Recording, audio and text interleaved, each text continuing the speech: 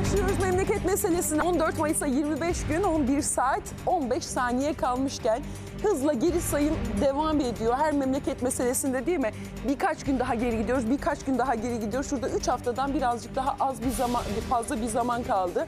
Ve biz de memleket meselesinde seçime giderken, 100 yılın seçimine giderken Cumhurbaşkanı Erdoğan az önce bu ifadeyi bir kez daha kullandı. Gençlerle iftar programında bir araya geldiğinde Eskişehir'de 25 gün kala memleketin meselelerini konuşuyoruz. Kim ne dedi, ne diyor seçime giderken, ne vaat ediyor, ne söylüyor, o vaatlerin ne kadarının altı doldurulabilir, e, ne kadarı sadece seçim yatırımı için söylenen, dile getirilen vaatler. Bir bunları konuşalım isterseniz bugün. E, gündemde epey sıcak gelişme var. Cumhuriyet Halk Partisi'nde de, İyi Parti'de de e, PKK polemiği devam ediyor. E, HDP PKK'nın uzantısı değildir. Hiçbir HDP'li milletvekili bunu mecliste dile getirmedi dedi Özgür Özel.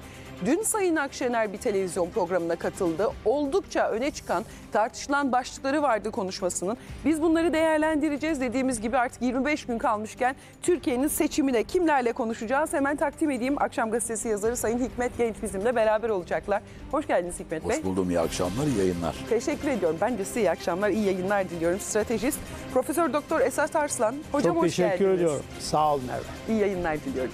Sağ ol. Ve Ankara stüdyomuzda da hukukçu, avukat Mustafa Kemal Çiçek bizlerle beraber. Mustafa Kemal Bey hoş geldiniz. Hoş bulduk. İyi akşamlar, iyi yayınlar Merve Hanım. İstanbul'da bulunan değerli konuklara da selam ve saygılarımı iletiyorum. Teşekkür ediyoruz. Selamlar, Saygılar, teşekkürler, selamlar sağ olun. bizden. Ve birazdan da aramızda olacak AK Parti Tanıtım Medya Başkan Yardımcısı Emre Cemil Ayvalı.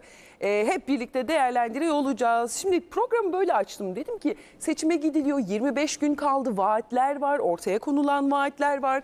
Cumhurbaşkanı Erdoğan bugün dedi ki biz yaptık. Bugün yine vaatleri anlatıyordu. Biz yaptık. Çünkü onlar yapamazlardı dedi. Şimdi seçime giderken bu önemli bir iddia, önemli bir vurgu. Ee, bir klip var yayınlanan. Bugüne kadar neler söylendi, neler yapıldı, ne kadarı yapıldı. Şimdi onları anlatacağız ama e, Kemal Kılıçdaroğlu'nun Cumhurbaşkanı adayı olarak birkaç arka arkaya vaadi vardı. 300 milyar dolar buldum temiz para. 300 milyar dolar. 300 milyon değil 1 milyar 2 milyar değil çok büyük bir paradan bahsediyoruz. Çok çok büyük bir paradan bahsediyoruz. Ben temiz para bunu buldum dedi e, Sayın Kılıçdaroğlu. E, bunun, bununla çözeceğim dedi. Farklı vaatleri var. Cumhurbaşkanı Erdoğan IMF vurgusunu yineledi. Bugün e, özellikle IMF ile anlaşmadan nereden para buldular? O Amerika Birleşik Devletleri'ndeki 8 saati açıklasın önce e, diye e, karşılık verdi. Bir bakalım bugün neler oldu? Karşılıklı olarak vaatlere bir bakalım. Neler söyleniyor? Kim ne söylüyor? Kim söylediğinin ne kadarını yaptı? Hangi vaatlerini gerçekleştirebildi? Vatandaş kim yapabilir? Bu vaatleri bana e, kim gerçeğe dönüştürebilir diye düşünüyor. Bir bakalım hızlıca hatırlayalım. 300 milyar dolar diyor Cumhuriyet Halk Partisi'nin genel başkanı ve muhalefetin Cumhurbaşkanı adayı olarak Kemal Kılıçdaroğlu. Ee, uyuşturucu baronlarının parasını getireceğim, temiz para getireceğim diyor. Bu çelişkiyi konuştuk. Ama Cumhurbaşkanı Erdoğan diyor ki ya tefecilerle görüştü, Londra'ya gitti, sözleri aldı. Böyle bir tuhaf şey olamaz diyor Ya Cumhurbaşkanı bunu bir Erdoğan. düzeltme yapmamız lazım yalnız. E, 300 milyar dolar getireceğim demiyor. E, diyor ki gittim. Reklamında onu söylüyor. Gittim. Milletimiz için 300 milyar dolar temiz yatırımı bulup getirdim diyor. Geçmiş zaman. E, dili geçmiş zaman. Gelecek O zaman. para şu an Türkiye'de mi diyor? Bakın ben e, çok iddialı söylüyorum. Açın bugün reklamını. Diyor ki gittim. Milletimiz için 3 milletimiz için 300 milyar dolar temiz yatırım bulup getirdim. Geçmiş zaman. Yani kendi tanıt reklamlarında getireceğim demiyor zaten. 300 milyar doları bulmuş cepte yani o. Bunu bir defa doğru düzeltelim. Yani ben çünkü Ama bu onunla borç ilgili, para. Onunla bir yazı yazdım çünkü de temiz para var bir de. Bir de helal para. Yani Şimdi hayır hasenat tabii helal para şu.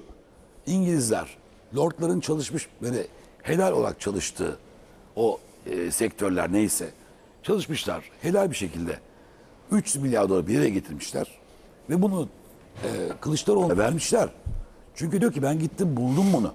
Hani Ama şimdi- Hikmet Bey şöyle düşünebilir Ben şaka miyiz? yapmıyorum. Ya Bakın. bence şimdi Türkiye'nin şu anki durumuna edeceğim. bakarsak Türkiye güven veren bir ülke ben, ekonomik açıdan. Yani borç verilebilir bir ülke. Değil mi? verebilir diyorsunuz.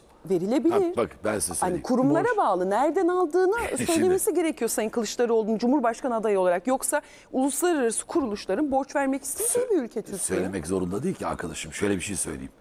300 milyar dolar IMF şimdiye kadar tarihinde hiç kimseye vermedi. Bunu köşeye koyalım. O zaman Mesela. öyle bir kuruluş veremez Yok. biliyorsunuz. İki, bu parayı ben buldum hazır cepte. Ve helal. Helallik de var hocam. Yani onu unutmayalım. Şimdi e, o kadar çok hayal ki aslında. Helal bırak hayal. Yani Türkiye tabii ki verilir. Türkiye tabii prestiji var. Türkiye, zaten daha önce en kötü ekonomik krizlerden geçerken de paralar almış bir ülkedir. Almıştır borç. Ama siz muhalefetteki bir parti liderisiniz. Ben kazanacağım dediniz. Onlar da bunu çok sevdiler. Helal bir şekilde çıkarttılar ceplerinden size 300 milyar temiz para diyor. Temiz, kirli değil. Getirecek, verecekler.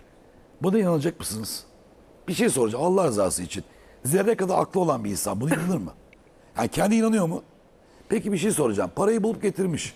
Nerede bu para hocam? Ben getirdim parayı diyor. Nereye koydun parayı?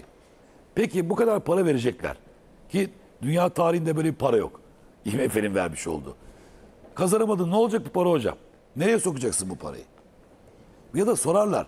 Sana 300 milyar dolar para verecek olan e, sermaye. Dünyadaki herhangi bir sermayeden bahsediyor. Tefeci de değil diyor ya. Bir banka, yatırımcı. Karşılığında ne vermiş olabilirsin ya? Karşılığında Teminat mı ister, Türkiye sıkıştırmadan Türkiye rahat rahat ödeyebileceği tertemiz helal para 3 milyar dolar para ben sana verdim. Ben senin karşı, karşılığında ne bekliyor adam? İki ihtimal var. Ya Baybay Kemal'in kara kaşla kara gözle aşık bunlar. Çok seviyorlar. Onun için veriyorlar.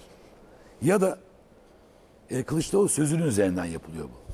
Böyle bir ihtimal var. O da şu. Diyor ya ben iktidara gelirsem 180 derece dış politikayı değiştireceğim. O ne iddianız var? Bir virgül koyalım Ankara'ya gidelim. Olur mu? Tamam. Mustafa Kemal Bey, şimdi e, Hikmet Bey de diyor ki hadi buldunuz IMF gibi bir kuruluş tarihinde 300 milyar dolar gibi bir parayı borç veremez bir ülkeye. Ama ben de kendisine sordum yani Türkiye prestijli bir ülke. Türkiye gibi bir ülkeye e, yatırımcı kuruluşlar borç verebilirler. Uluslararası şirketler borç verebilirler. E, ama Sayın Kılıçdaroğlu'nun nereden buldun? Temiz para diyor, helal para diyor. Bir uyuşturucu balon, baronlarının parası dedi sadece. E, bu parayı Türkiye'ye getireceğim diyor. Şimdi bu kadar muamma varken böylesine büyük bir miktarı Türkiye'ye getirdiğini söylerken ya bunun adresini belirtmesi gerekmiyor mu? Ya da şöyle de sorayım size. Borç almak vatandaşa seçim vaadi olabilir mi? Bir de Mustafa Ke- e- Tabii e- Merve Hanım. Türk Hikmet Bey de siyaseti, ekleyecekmiş. bir ekleme daha yapayım. Bir ekleme daha. Sevgili e. Mustafa Kemal Çiçek buradan selamlar olsun. Bir de şu var. 300 artı 418 teşekkür milyar. ediyorum bir mukabele. 300 daha- dö- toplam 718 milyar dolarımız var elimizde. Bir de 418 milyar doları da tahsil edecek biliyorsun Türkiye'den. Artı 300 milyar dolar daha. Evet, evet. Toplam 718 milyar dolar. Hocam hadi 418'i burada bulacakmış. Öyle bir palavrası daha var. Fakat 300 milyar doları getirdim diyor hocam. Yani üstadım Mustafa Bey nerede bu para? Getirmişse ya. Hikmet Bey bakın. diyor ki getirdim Şimdi diyor şu an bu para Bey- Nereye koydu? Türkiye'de o zaman diyor. Nereye koydu hocam parayı? Hikmet Bey bu para bu para herhalde e, bu parayı e, 300 bin TL gibi algılıyor olacak ki böyle bir ifadede bulunuyor. Türk siyaseti bunları çok gördü. E, 1990'lı yıllarda iki anahtar vaatlerine bir ev bir araba anahtarı verenleri ama netice itibariyle bunların hepsinin e, sonuçsuz kaldığı da ortaya çıktı. Şimdi Kemal Kılıçdaroğlu bu vaatleri e, ifade ediyor, e, söylüyor. İşte siz de ifade ettiniz. IMF'in herhalde toplasanız kasasındaki para bu kadar değildir. Her ülkeye vereceği kotalı bir miktar vardır. Herhalde Türkiye'nin de kotasına düşen 20-25 milyar dolar civarında bir para ki Türkiye IMF'e borcu kapattı. Hatta Sayın Cumhurbaşkanı ifade etti.